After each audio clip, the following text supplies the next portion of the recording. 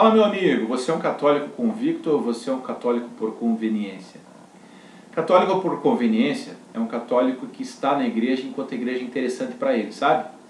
Ele está na igreja enquanto os bancos são confortáveis, enquanto ele está tocando, enquanto ele está aparecendo, enquanto ele está sendo lembrado, enquanto o padre benze as suas empresas, almoça na sua casa. Mas esse católico por conveniência, quando a coisa aperta, quando ele é perseguido, quando ele vê escândalo, quando ele vê fraqueza dentro da igreja, quando ele vê coisas que não gosta, ele prontamente abandona a igreja como se a igreja fosse um produto, é, ou como se Jesus fosse um produto e a igreja simplesmente fosse um mercado de distribuição desse produto Jesus. A igreja não é um mercado, a igreja é a extensão da cabeça, do corpo, a igreja é o corpo de Cristo. Portanto, querido, se você acha que Jesus é um produto e que tanto faz a igreja que você queira vão te entregar o mesmo Jesus, isso é muito questionável.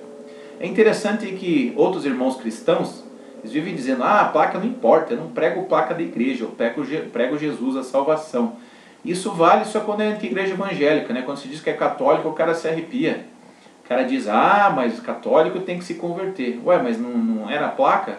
Quando a coisa engrossa, ele diz: não, eu não, eu não ligo para placa da igreja, mas quando a coisa é favorável a eles, eles dizem que a igreja católica não presta, que é é, a besta do Apocalipse, ou a prostituta do Apocalipse, enfim, etc, etc. Que o Papa é a besta do Apocalipse.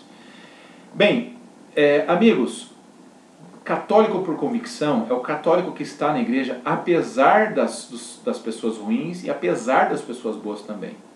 Como assim?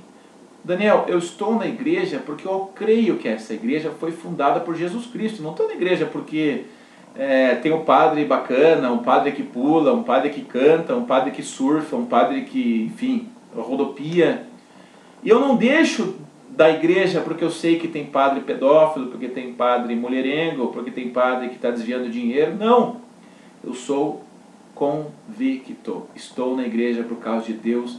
Creio que a igreja é santa na sua doutrina, que ela foi deixada por Jesus Cristo e sou convicto da minha fé.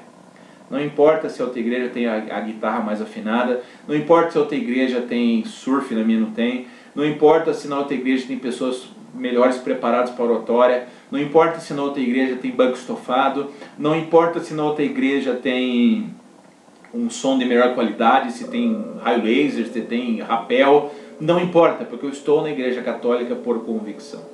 Já apanhei bastante dentro da igreja católica, já fui convidado a me retirar da igreja católica, por simpatizar com um movimento ou outro, e isso não vai me fazer parar, porque eu estou na Igreja Católica porque eu amo a Igreja Católica.